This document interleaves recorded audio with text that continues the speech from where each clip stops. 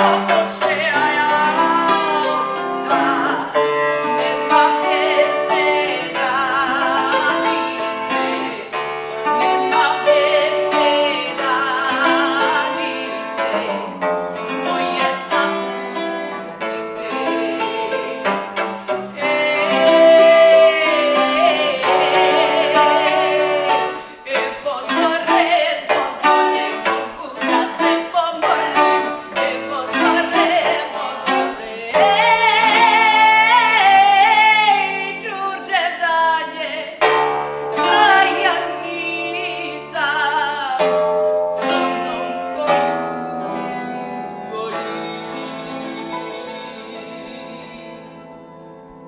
Felteszi a pontot az íre a címbeli band legújabb lemezének bemutatójával, a Balkán projekttel. Három a magyar igazság, még akkor is, ha a harmadik az ország határon túlra tekint. A címbeli band idei repertoárjában három koncert található. Ezek közül kettővel már találkozhatott a fővárosi nagyérdemű, hiszen a Recycle lemezanyagát feldolgozó produkciót 2017. februárjában mutatta be a zenekar a Fonó színpadán. A cimbali band Bio pedig több fővárosi fesztiválon örvendeztette meg az autentikus népzenére áhítozó közönséget. A harmadik és egyben legnagyobb szabású produkcióval kerül fel a pont az idei íre, és természetesen a fonóban, amely egyben az új lemez kiadója is debütál a leghűségesebb és legkedvesebb rajongótábornak. A Balkán projekt a Balkán népeinek habitusával, virtuozitásával közelíti a népzenét, és adja át annak pozitív mondani valóját a hallgatóságnak. Unger Balázs zenekarvezető, cimbalmos és népzenepedagógus gyűjtő útjai során lenyűgözve nyugtázta, hogy erről a vidékről származó zenészek egyedülálló módon bánnak saját népdalaikkal. Náluk nem állt meg a népzene fejlődése, az ezredforduló után is minden napjaik részét képzi. Ez a példaértékű hozzáállás a legfőbb mondani valója a Balkán projektnek. És miért ne most venni elő ezt a tematikát a cimbeli band, mikor az egész világ balkánlázban ég? A szerb és román muzsika meghódította a legnagyobb fesztiválok színpadát, de még a kereskedelmi rádiók játszási listáit is. Európa már nem a nyugati sztárokkal, hanem az autentikus kelet-európai bandákkal foglalkozik. Nem is csoda, hiszen nem kell feltétlenül egy Kosturica filmekből ismerős cigány falucskában születni ahhoz, hogy megértsük és átérezzük a balkáni zenét és életérzést. Az erőteljes ritmusokra és fergeteges táncdalokra a mi szívünk is ugyanúgy dobban. A lemezbemutató koncert március 3-án szombaton lesz a Fonó Budai Zeneházban. Ezzel kapcsolatban hívtam meg stúdiónkba a zenekar énekesnőjét Danics Dórát és Unger Balázs cimbalmos névzenepedagógust. Egy lemez volt, ami meg, amin én is közreműködtem. A második lemez, amit Balázsék kiadtak, az a Bio, az egy autentikus népzenei, magyar népzenei lemez volt, valamint a Recycle az egy, egy kicsit populárisabb népzenét újrahasznosító lemez volt, ezzel pedig ismét egy kicsit az autentikusabb irányban ment el Balázs, amikor összerakta a Balkán projekt lemezének az anyagát. Ugye a Balkán életérzés, a Balkán világot próbáljuk a a tőlünk telhető legjobb módon ö, ö, interpretálni, és, ö, és mi ezt elképesztően élveztük ezt a folyamatot. A lemez felvétele, felvételét, valamint korábban ö, azért volt néhány koncertünk, ahol úgymond összeszokott a csapat, és egy ö, fantasztikus zenei anyagot rakott össze a Balázs. Igen, és hát most itt hallott kaptunk is a fonóban egy rövid ízelítőt ebből az anyagból. Egy, ö, ö, mit is mondtál itt? A, a, Ez az Ederlezi című dal, amit ö, hallhatnak a rádióhallgatók, amit mi most épp az imént eljátszottunk a Balázsjal. Ez egy koszovói népdal, ha jól tudom pontosan, de ez is rengeteg rengeteg, azt mondja valaki, hogy ez egy cigány népdal, rengeteg nyelven megvan ez a dal, és valójában a, annyi biztos, hogy Balkán. Hát vannak benne cigányos beütések, de hát cigányos beütések azok gyakorlatilag a balkáni népzenében így van, így vannak, van, így van, tehát pontosan. elég rendesen hiszen ugye tulajdonképpen zeneileg rokonság van a kettő között, nem is kevés és nem is kicsi de hát nyilván az egy más műsornak a témája lenne, hogy most itt elkezdjük elemezni a balkáni népzenét, szoktunk egyébként ilyet is csinálni. Mi az, ami megfogott ebben a műfajban? Hát ugye a Balázs, Balázs, ami 2016. szeptembere óta dolgozunk együtt, és azt hiszem, hogy a Balázs felmérte az én hangi adottságaimat, és ő azt mondta, hogy szerinte nagyon jól állna nekem ez a Balkán vonal.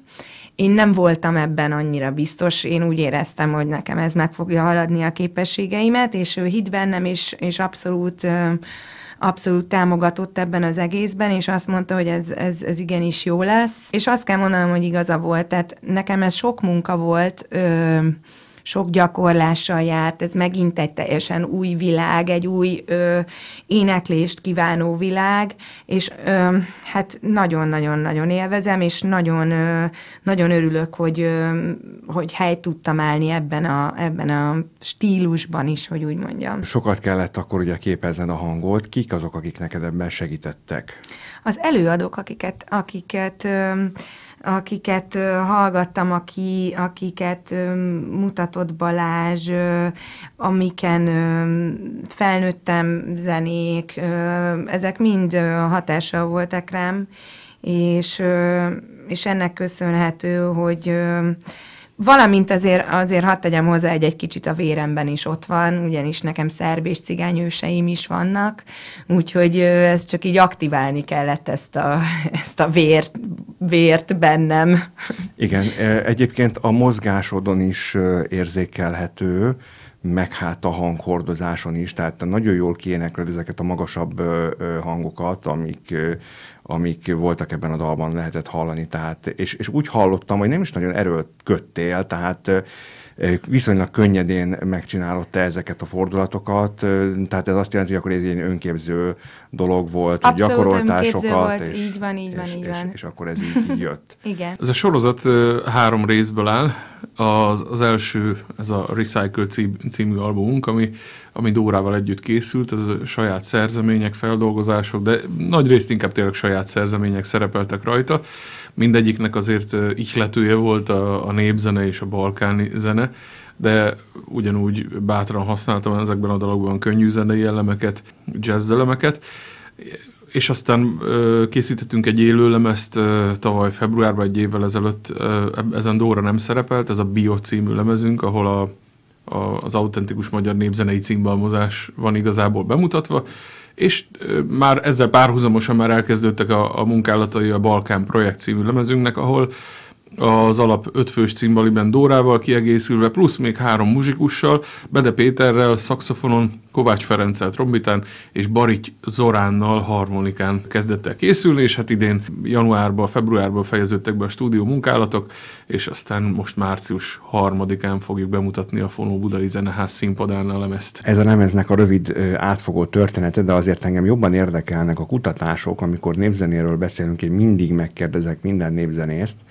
hogy hogyan indul el önálló a kutatás, hogy ugye nyilván nagyon sokat vagytok az adott tájegységen, ahonnan begyűjtitek adatközlőktől ezeket a dalokat. Én legalábbis így képzelem el. Így van, ennek, a, ennek az egész Balkán projekt lemeznek is az album az volt, hogy én amióta címbalmozom, azóta foglalkozom a Balkán zenével is.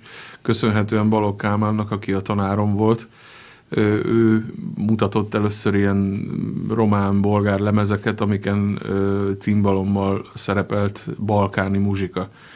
Ez nagyon-nagyon felkeltette az érdeklődésemet, és annyira, hogy aztán beültem a kis Trabantomba, és elmentem Romániába több helyre is, Bukarest környékére, Bákó környékére, kinti cimbalmosokkal gyűjteni, kinti cimbalmosoktól gyűjteni.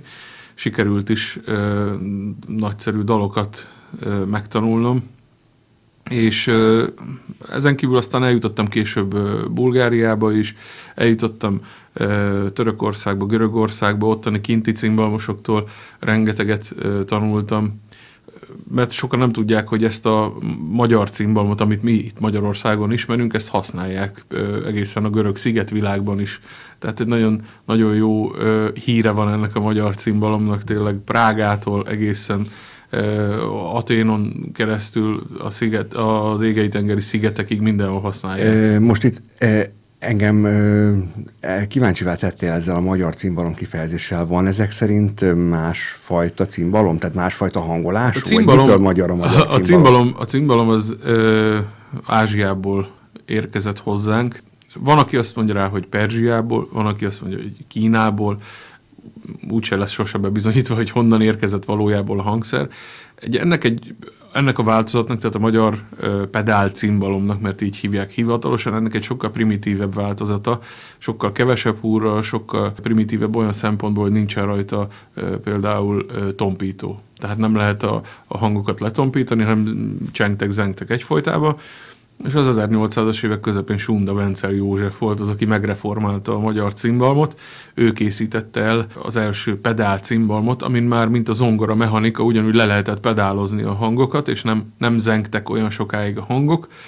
Ennek köszönhetően a klasszikus zenében is elkezdték használni, és hát egyre nagyobb előszeretettel használták vonózenekarokban is tényleg a zene majdnem minden, minden terén el, elterjedt hangszer lett, ahogy ez a mai napig is mondható. És milyen érdekes dolog, hogy ugye én, amikor megláttalak benneteket, amikor készültetek még a felvétel előtt, mert hogy itt ugye ez a zenei betét, amit itt a kedves hallgatók hallanak, ez tulajdonképpen egy TV felvételből származik, amit itt a fonóban készítettetek, akkor meglepődtem, hogy a többiek sehol, csak ti ketten Dórival, és bizony milyen jól betöltöttétek azt a kis termet, tehát azért az cimbalom egyedül is képes csodákra, hogyha véletlenül úgy alakul, hogy nincs ott mögöttetek a basszusgitáros, a bőgős, a dobos, mert azért amikor ti a cimbali bandként ugye fönt vagytok a színpadon, akkor azért mellettetek ott vannak még a kiegészítő zenészek is. Így van, így van. Meg ahogy említettem, plusz még ezen a lemezen a, a két fúvós, meg a, meg a harmonika, hát hihetetlen, hogy én nekem is, mint, mint rutinos zenésznek mondhatni, hogy, hogy libabőrözött a háta, amikor először megszólalt így a Balkán projekt koncertünk így ezzel a sok hangszerrel, de, de megvan annak is a, a, a különlegessége, amikor egy, egy szálének hang egy cimbalommal ahogy itt az Ederleziben például most Dórával játszottuk. Nem véletlenül hívják a hangszert a magyar zongorának. Igen, és hát ugye ehhez nagyon jó énekesek kellenek, mint például a Dóri, aki nagyon jól tud alkalmazkodni ehhez a dologhoz, hogy ugye ugyanúgy énekel az egy személyes zenei kísérettel is, mint hogyha ott van mögötte az egész komplet zenekar, meg hát nyilván neked is csak őrá tudsz hagyatkozni, és nem másra, mert nincs mögötted a dob, amelyik ugye diktálja az ütemet egy ilyen temperamentumosabb előadásban. Így van, így van. Hogyan tovább? Mert ugye most itt lesz március harmadikán ez a lemez bemutató koncert, aztán terveztek-e még esetleg máshova menni az országban? Hát szerencsések vagyunk, tele van a naptárunk elég jól. Egy év, mondhatni majdnem egy évre előre, tehát nagyon szerencsés zenekar vagyunk, és meghívtak minket például a nyáron Norvégiába a Forde Fesztiválra, ami Oszlótól még 500 kilométerre van fönt. Júliusban megyünk, és hát ez a legnagy, egyik legnagyobb északi világzenei fesztivál, és hát ami, ami nagyon érdekes, hogy nincs, nincs például, nem megy le a nap. Pont ezt akartam mondani, hogy éjszaka világosban ész, fogtok van, éjszaka világosban fogunk zenélni. Ismertek az északi országok, ezért szeretik a turisták főleg. De augusztusban egy, egy négy koncertből álló olasz turnésorozatunk is lesz, ahol Genova környékén, meg aztán a, a svájci-olasz határ környékén lesz pár koncertünk. Nagyon, nagyon várjuk ezt, ezt az eseményt is. De mellette játszunk majd a művészetek völgyébe, a Fishingon, Orfűn, tehát elő fogunk fordulni azért pár e, jó, jó kis helyen az országban is.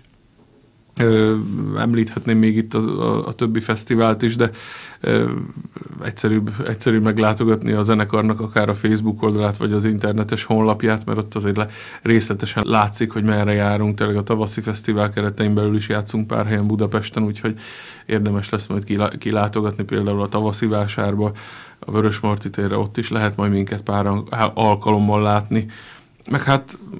Úgy egy szál, egy szál cimbalom kísérettel, vagy pedig ott lesz a teljes? Ott, ott lesz, ott lesz. A, a cimbaliben magja, az ötfős magja ott lesz, van, amikor Dóri lesz a vendégünk. Dóri tulajdonképpen egy ilyen állandó vendége már a zenekarnak.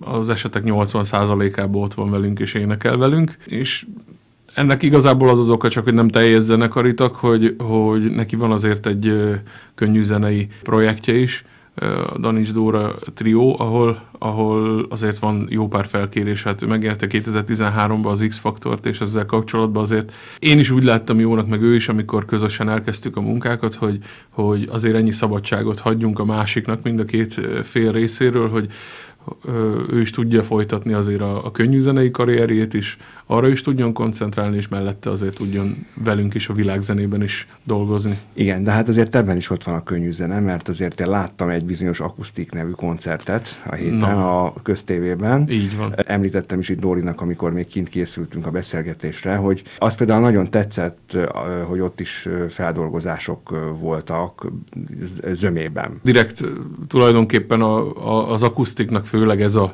ez a, a, a profilja, hogy dolgozzunk föl mai magyar dalokat is, meg, meg saját szerzeményeket szerepeltettünk ebben a műsorban.